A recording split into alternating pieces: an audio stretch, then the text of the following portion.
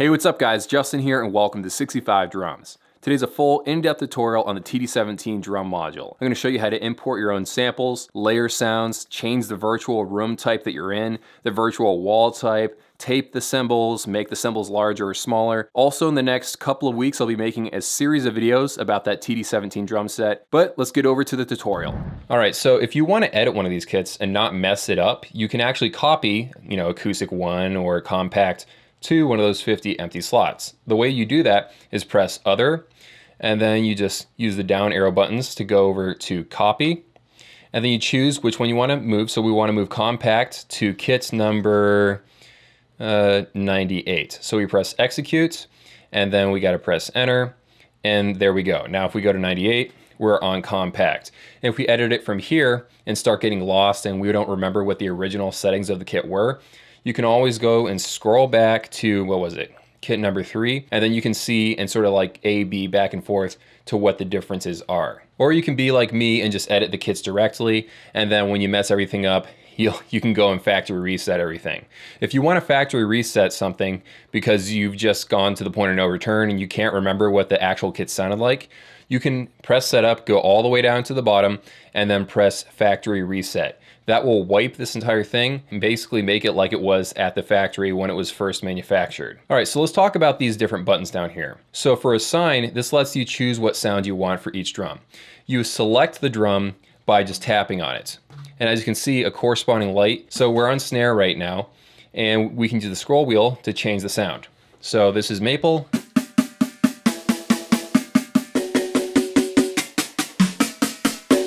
Anyway, so you choose whatever sound you want, and that's what the assign button does. And then if you press strainer, so F2, now you can adjust it from loose 1 all the way to tight 3. You might not be able to do this on every single sound, but on this one, they do give you that option. So if we go to button number 3, that would select the sub option.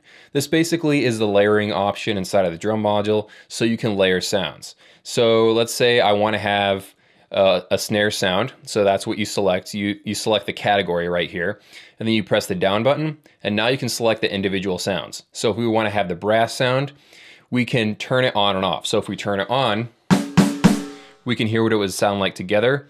If we turn it off, we can hear what it would sound like without it. If we press the arrow buttons, we can decide how we want the sounds to layer. So if we use the scroll wheel, we can make it fade into that sound and we can adjust how much that fade is, or we can switch. We can make it where it's only starting to switch the sound when you hit it at a velocity of 50. So if you hit the pad half as hard as it's capable of sensing, then it would switch to that new sound. So this is what it sounds like just with the sub off.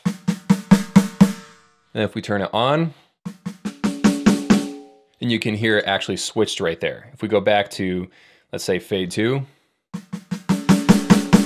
it's fading in after 50. If you go down, you can set where you want that fade point to be.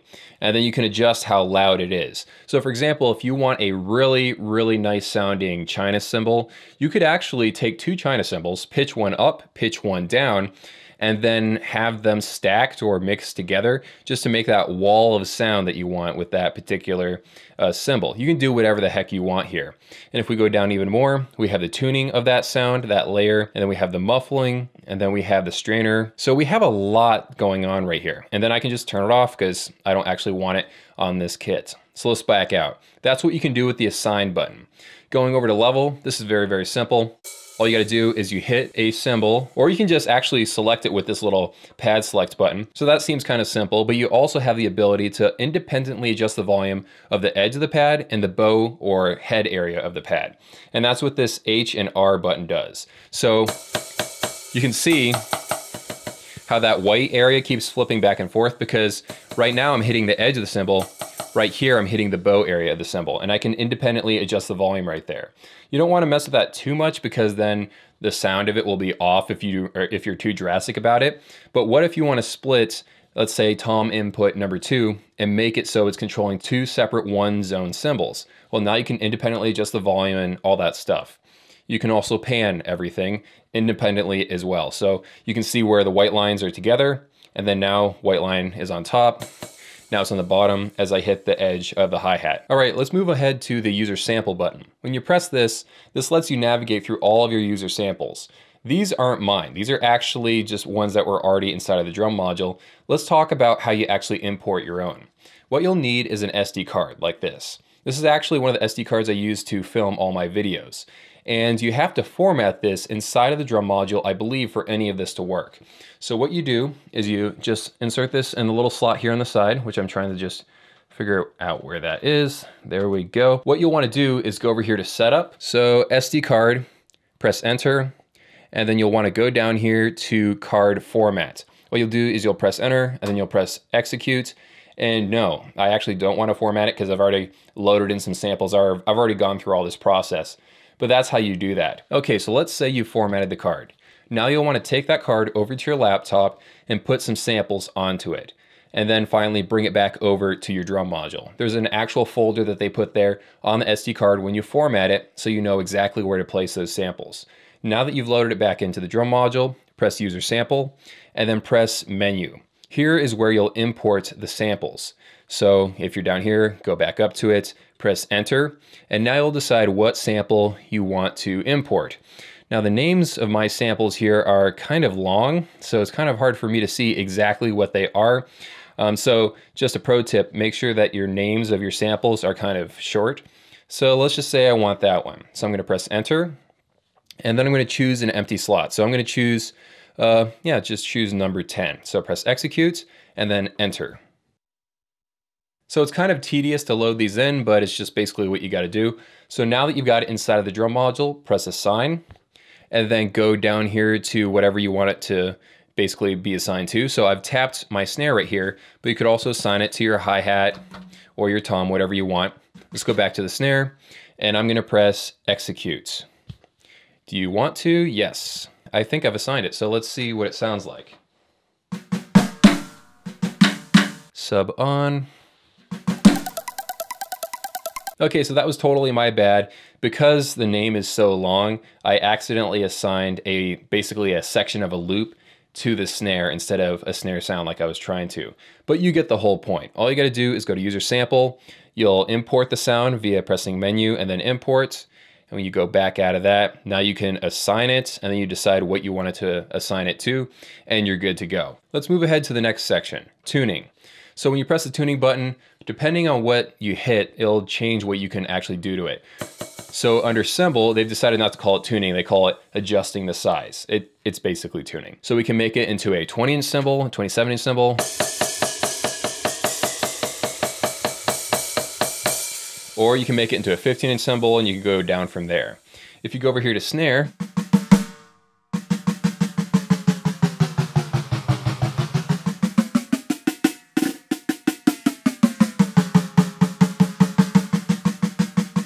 So it's really fun to play around with that stuff. And again, you can adjust the head rim stuff. All right, so let's back out of that and go over here to muffling. So muffling, again, is just putting virtual tape on all the drums. I usually leave mine all the way open, but you do you. And then if you hit one of the cymbals, like the hi-hat, this actually doesn't put any tape on the hi-hat. You can adjust how open or close it is. So if you go up one, it's always gonna be closed sounding. So basically, if you play a lot of double kick stuff, but you want a closed hi-hat sound, this is the menu you would go to in order to achieve that. Or you can go all the way to fixed four, and it's always gonna be open no matter what you do, no matter how hard you're pressing on that pedal. So it's very powerful. Now, if you hit one of the crash cymbals, you're gonna be able to put virtual tape on the cymbal. Oh, that's kind of weird. Before I forget, I need to take this tape off of it because that's awful. Okay, so next up we have Other. This is the part of the menu where you can really start changing the way everything sounds. Let's start with ambience. You'll notice that you have an ambience uh, knob right here. So you can turn all the way to 100 or turn it off completely. Usually just in the factory reset form of this drum module, you'll wanna make sure that it's all the way on because it's very, very subtle, just the ambience that they have out of the box. But when you start messing around with room type and stuff, uh, you can get really crazy. So, so it's kind of hard to really hear the difference there. But let me go over here to kit number 100. So this is the kit that I use that I mess around with. And if we go back here to other and then ambience, you can hear what this sounds like.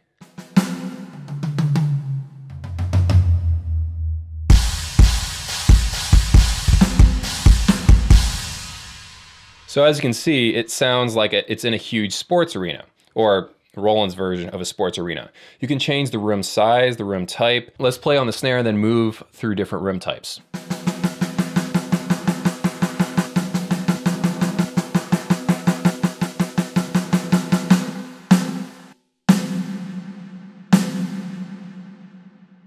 So that's kind of cool. It's really fun to mess around with. I'm going to go back to Sports Arena and then go down. The reason why all these rooms sort of sound kind of similar is because they're all the same room size. I've set everything to huge right now. These don't change when you switch the different room types. So if we go from Sports Arena and just make it a little bit smaller, a tiny sports arena. Then finally, you have stuff like the room shape, you have the wall type. I like curtain because it doesn't sound as harsh. If we go over to something like, let me see here, uh, plaster. As you can see, it sounds a lot less harsh, so I like that. If you go down, you have the mic position, then you have the level. You can adjust the send of all these different things in the other section of the drum module. So we can adjust how much of this ambience, how much of this sports arena sound we have going to the kick drum, the snare, the toms, and all the way down through everything on this drum set. So very, very powerful. And again, you still have the H and R button right there as well. So let's back out of this. And now we have multi-effects. So you can turn this on or off, but you can have delay, you can have tape echo. Reverse delay is always fun. It's kind of hard to use these things in real life, but they're fun to play around with, and maybe in certain specific instances they will be helpful.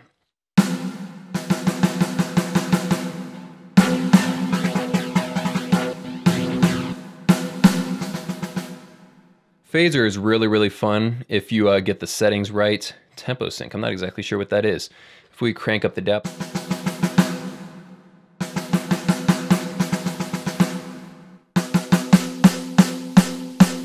If I turn off the ambience, you can hear it a lot better. So yeah, you have all kinds of different effects and you have some really in-depth controls over those effects.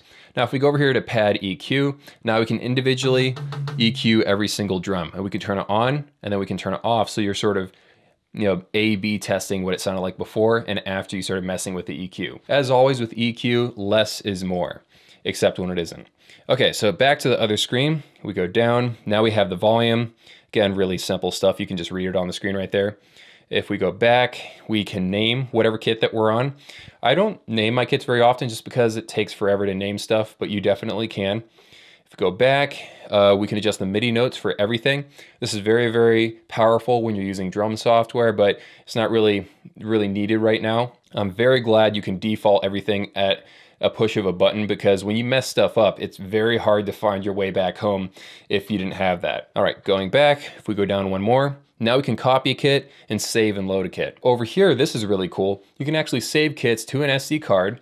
There's actually a folder for that what that actually gets put there when you format the card. So be sure to format your SD card. But also if you ever buy something from like, I don't know, vexpressions.com where they go and they EQ and do all the ambience and effects for you, you'll spend like, I don't know, 30 bucks or whatever. They'll send you the file, you'll put it on an SD card, you load that on here, and now someone else has already spent the hours and hours messing with all the settings to make the drum module sound really good. Now for me, I've never actually spent the money on that sort of thing because I like messing with that sort of stuff myself, but some people like just taking all the work out of it. They want the best possible out of their drum module, so they'll buy a settings pack or they'll go on a, a like a drum forum or something where they can share their settings packs and then you can just get them for free.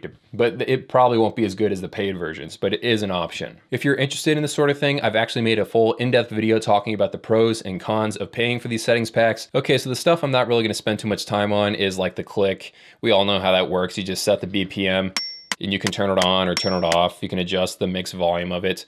This takes us back to a setting we were already talking about before, and you can get to the menu right here where you're adjusting the beat, the rhythm type, the sound, and the panning. That is very useful stuff. A click is one of the most underutilized sections of any drum module. The coaching, I don't use this stuff very often, but you can play to a tempo and it'll show you in real time how on or off the beat you are. I actually bought a dedicated pad just for this a couple years ago. And then finally, if you press the song button, you can play to any one of the songs inside of here. Some of them are cheesy, some of them are good you just press play or pause right here. You can hold down slow to slow the song down, hold down fast to, to speed it up. And then finally, I believe you can actually import your own WAV files into here so you can speed up and slow down whatever song you're trying to practice to. So that's actually a cool trick. Okay, so for the last section of the video, we're gonna talk about pad setup. Now, thankfully, because Roland is so calibrated out of the box, you probably won't have to touch nearly anything. But whenever you connect new pads, you will have to change some of these settings. So go to setup, go down over here to pad settings, press enter, and then now you can actually change what pad you've plugged into the drum set. So let me hit the snare right here. This is the PDX12. Let me hit the kick drum right here. This is the KD10. But let's say you've upgraded the kick drum to the KD120. You'll actually scroll over until it says KD120, and now it's set up to be working nearly perfectly with that new pad. Now, if you go down here to like sensitivity, you can adjust how sensitive it is. The threshold is how hard you have to hit before it starts picking up that you're hitting it. You might think, oh wow, just set everything to zero so it picks up everything. But with a kick drum, sometimes your foot will accidentally hit the kick drum without you even noticing it. So that's why you can't put it on zero with most kick drum pads. So moving down the curve basically tells the drum module how you want it to respond to your playing. Do you want it to basically pick up everything from soft to loud? That's linear. If you want to do expressive, that'll be a little bit more heavily weighted towards the, the basically the soft stuff. Log one, log two, those are basically making it so nearly everything you play is very, very loud. Set it to linear for most everything. Going to advanced features, most people won't touch this stuff unless you're messing around with like triggers and different things like that. I have to mess around with advanced settings a lot because I review a lot of DIY gear. But this lets you adjust scan time, retrigger cancel, mask time, X-Talk cancel, and there's some more stuff over here with the rim, the rim gain and stuff. You probably won't have to mess with this unless you're messing around with drum triggers with the TD17 drum module. The good news is, if you need to know about all this stuff, I've actually made an in-depth video explaining everything. So let's get out of here and let's scroll back down. So we can adjust the LCD, we can adjust how bright it is, how contrasty it is. Uh, usually I like the brightness of stuff to be pretty bright. Uh, for the sake of the camera, let me just put it back down here to uh, five. Let's exit out of that. They always put you back up at the top of the menu, so I have to keep scrolling down. You can adjust MIDI, USB, auto on and off. My one tip for auto on and off is keep it at 30 minutes if you're just, you know, a normal Joe playing, you know, for half an hour at night. But if you're performing, set it to off so it doesn't accidentally turn off right before you're about to play on stage. So that's my only tip there. For me, I'm gonna leave it to 30 minutes. And then finally, we have the hi-hat settings. This is where you can calibrate how open and closed and how sensitive it is and all that stuff. The VH10 is pretty well calibrated out of the box, but if you're still not satisfied, this is where you can calibrate it. So just spend the time to mess around and get these settings down just right. I'm gonna see how well ATV cymbals work with this, so I will be messing with the calibration there. Okay, so that's the video. Hope you guys enjoyed. Thank you so much for watching. I really do appreciate it. Have an amazing day, and I'll see you all in a few.